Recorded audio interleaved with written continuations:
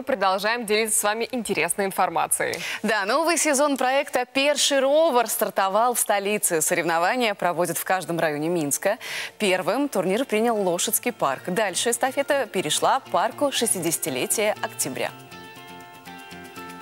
Третий сезон мы проводим э, наш э, уже ставший традиционным «Перший ровер», наш э, праздник. Мы считаем, что это полезно для здоровья, самое главное. Я, как могу сказать, второе, я уверен, что это укрепляет и связи, в том числе в семье, потому что, ну, действительно, не так часто, как, мы, как нам бы хотелось, наверное, мы проводим э, время со своими детьми. Ну и плюс, э, когда родители видят, что их дети ну, занимаются хорошим, красивым видом спорта. Мы, конечно, очень сильно надеемся на то, что они, дети эти придут к нам в велосипедный спорт. Ну и второе, они будут использовать велосипед в различных э, сферах нашей жизни.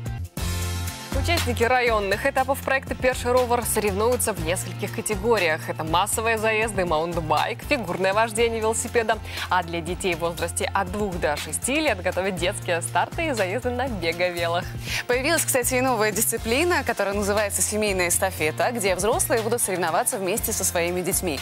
Проект продлится до 14 октября, а закрытие сезона по традиции пройдет на велодроме Минск-Арена.